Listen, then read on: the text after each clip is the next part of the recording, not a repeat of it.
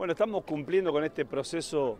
de puesta en valor de todo el sistema ferroviario argentino, en este caso en el área eh, metropolitana, en la línea del ramal Sarmiento, que como ustedes saben hemos renovado todos los, todos los coches, hemos cambiado eh, la vía, estamos llevando adelante un nuevo señalamiento, un nuevo sistema de información al pasajero y nuevas estaciones. Tenemos un programa de 37 pasos bajo nivel, para que tengamos idea de lo que estamos hablando, había 52 pasos bajo nivel eh, en toda la Argentina. Este plan tan ambicioso que decidió la Presidenta, que son recursos descentralizados que vamos enviando a, los municipios, donde los municipios licitan, adjudican y controlan la obra, eh, son muy importantes, muy importantes porque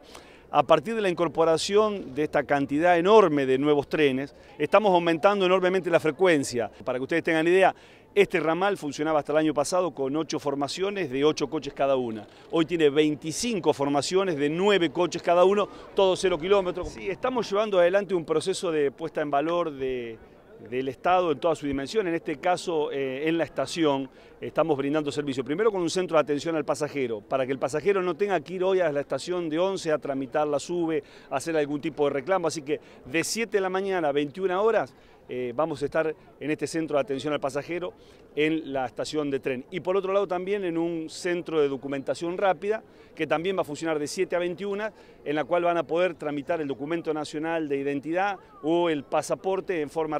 segura, como lo pueden hacer hoy en el resto de los centros de documentación que hay en todo el país.